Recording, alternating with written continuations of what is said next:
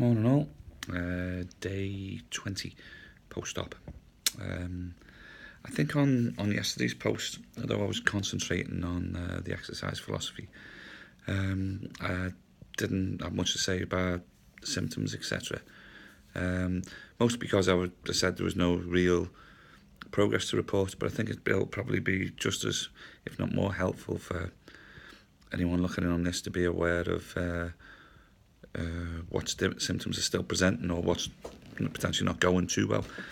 Um, I also had a, a little bit of a, well, I wouldn't go as far as saying a eureka moment last night, uh, but pulled a, a few things together which um, may well be uh, be relevant or salient. Um, going back onto the, the symptoms, uh, I've still been a, a little bit sort of wobbly both in mind and body over the last um, few days, despite some of the gains I've made uh, and improvements in, in the walking. Um, I've been a bit lazy and indisciplined with the crawling because my walking's improved so much. Um, I'm tending to walk around the house uh, without thinking about it. I need to get back to doing more crawling. Um, something which actually was um, a bit of progress that I didn't include was I was doing a couple of sessions of crawling down the stairs uh, which presents a, a, totally different coordination and stabilization challenge. Uh, first time it was, you know, pretty air and scare them actually, like I got quite a quite a long and wide staircase. Um, but the times after that, there was quite a rapid improvement, and I saw a carryover of that into me into my other stuff. So um, that was good.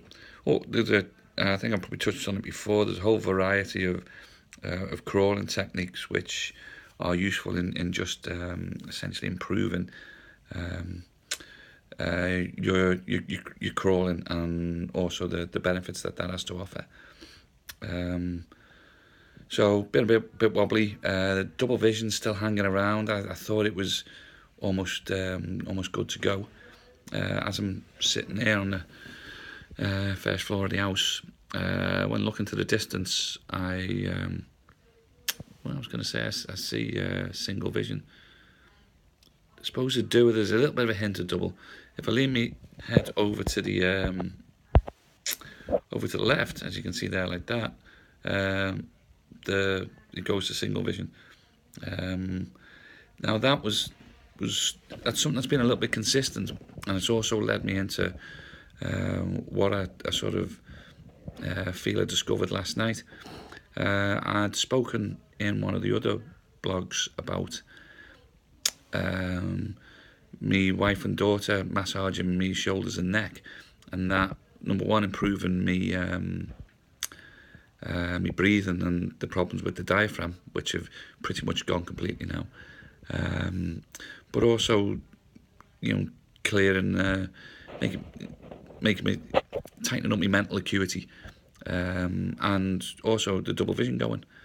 Um, when I had a little think about that last night, and induced from you know, you know thinking why would it improve in tilting the head, um, the the muscle I presented with the the, the most salient trigger point um, was uh, levator scap.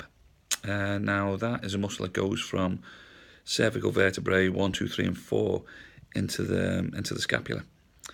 Now um, problems with, uh, resolving in around either pressure or subluxation on C1 uh, are associated with double vision. Uh, they're also associated with constipation, which is something I've, uh, I've uh, been presenting with, though I don't think I've shared that one with you yet. Um, I, I don't think we need any stool shots just yet. Like I don't think any are ready for that one.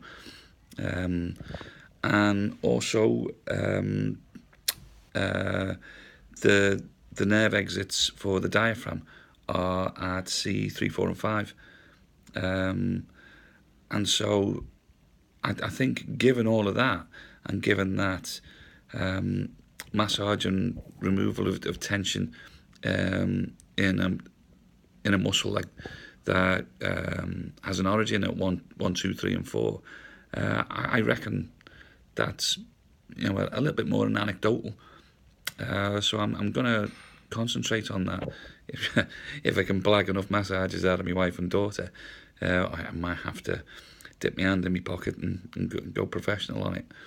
Um, and and see if it if it has any demonstrable uh, improvement on it. Um,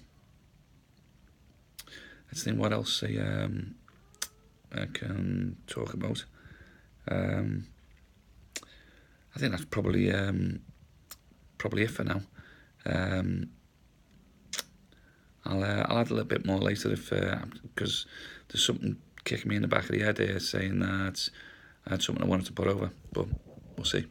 Ta-da.